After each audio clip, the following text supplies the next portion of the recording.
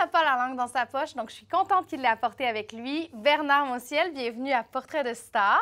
Montiel, on dit. C'est pas grave, mais Montiel. Voici des bulles pour célébrer, oups, votre présence ici. Alors, alors, vous savez qu'on doit le dire en France, ce sont des bulles d'eau. Hein. Oui, ben, c'est ça. Vous voulez des fruits? J'ai des fruits. Euh, non, ça va aller. Non. Alors,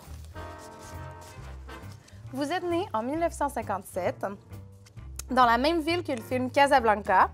Comment est-ce que ce film-là a influencé votre vie?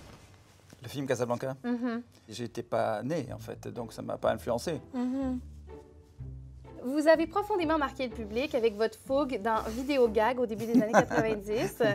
Comment avez-vous réussi à garder les pieds sur terre malgré la popularité fulgurante qui s'en est suivie? La popularité, elle a commencé quand je suis rentré à TF1 en fait. C'était en 87, oui, il y a longtemps, vous n'étiez pas encore né sans doute.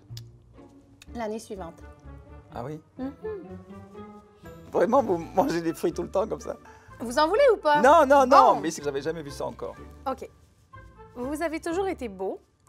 Euh, est-ce qu'on rencontre des gens plus beaux quand on est beau? ou est-ce qu'on rencontre des gens plus beaux quand on est connu? Alors, on rencontre des gens plus beaux quand on est connu, mais moi, je suis pas beau. Il y en a qui vont Vous dire êtes- pas du tout. Vous êtes, vous êtes faussement modeste. Parce que quand on cherche sur Google, ce qu'on trouve, c'est des belles photos. Oui, c'est gentil, oui. C'est gentil. Au Québec, on vous voit un peu comme un George Clooney qui est capable de un peu tout faire en cinéma. Qu'est-ce qui vous fait bander dans un film? c'est comme ça que vous dites faire bander ici? Ça peut se dire. Euh, être différent de l'image que je, que je parais. Je parais à la télévision très, très doux, très lisse, très facile. Et, et là, j'ai tourné un, un film assez marrant où je suis très, très méchant.